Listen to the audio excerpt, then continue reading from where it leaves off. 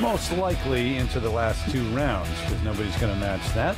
Check out our Prudential up to the challenge, and it was a 66 earlier today from Cristie Kerr, the two-time major winner. This birdie at 14. Had a couple little hiccups with the putter in the first round, but uh, the putter was really good today.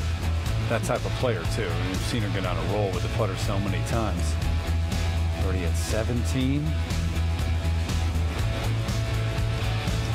Yep.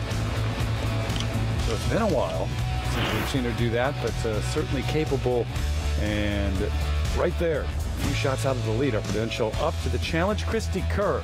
I know, but one then too, you want to be out there with your daughter. Our Prudential up to the challenge. Certainly this round for her so far. Tee at the eighth, par three playing 133 yards. And this, Judy, after seven straight pars is where it started to happen.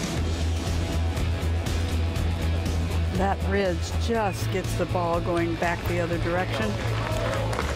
I was kind of waiting for the ball to take that turn. Oh, dramatic effect. That's Yeah, what your that's right. eye. Oh, I'm sorry about that. Up at nine, another chance for the 23-year-old, originally from uh, South Korea, but now in Jacksonville. She's got a nice little natural right to left shot, and it works perfectly at the ninth today. Second shot at 11, par four. Came close in Australia earlier this year.